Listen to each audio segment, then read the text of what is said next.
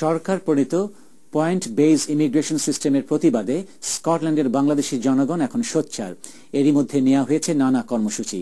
উনত্রিশে ফেব্রুয়ারি থেকে চালু হওয়া ইমিগ্রেশন আইনের ক্ষতিকর প্রভাব মেইন স্ট্রিমের কাছে তুলে ধরতে অব্যাহত রয়েছে নানা কর্মসূচি। এডিনবরা থেকে সহকর্মী মিজানুর রহমান জানাচ্ছেন বিস্তারিত।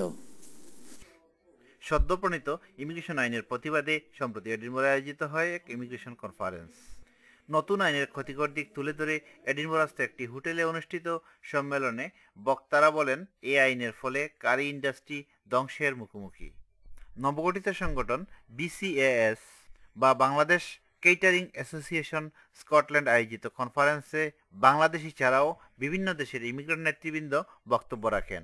স্থানীয় এমপি ওয়েস্টমিনিস্টার পার্লামেন্টে এ বিষয়টি তুলে ধরার আশ্বাস দিয়ে বলেন ইমিগ্রেশন স্ট্যাটাস চেক করার দায়িত্ব হচ্ছে সরকারের এটা রেস্টুরেন্ট মালিকদের কাজ নয় It's not the job of the business to check the employment status of employees, whether they have the right to be in this country, whether they have the right to work in this country, is the job of government.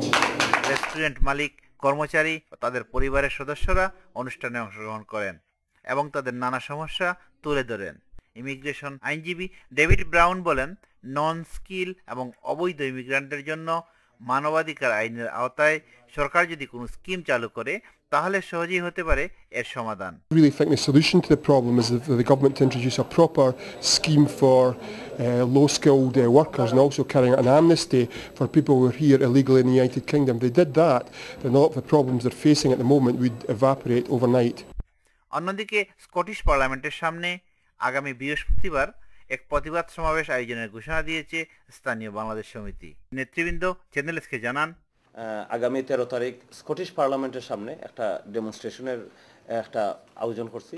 Bangladesh সমিতির পক্ষ থেকে আমরা Scottish গভর্নমেন্টে আমরা first মিনিস্টারে আমরা এটুই জানাইতাম serum যে নতুন আইন হওয়ার পর থেকে আমরা রেস্টুরেন্টগুলোর মধ্যে কীরকম প্রবলেম হইতে সকল রেস্টুরেন্টের মালিক এবং কর্মচারীদের যে আপনারা আসেন আপনারা আমাদেরকে সহযোগিতা করেন যে আমরা আপনাদের সহযোগিতা পেলে পাইলেও আমরা এটা সাকসেসফুল হওয়ার আশা রাখি।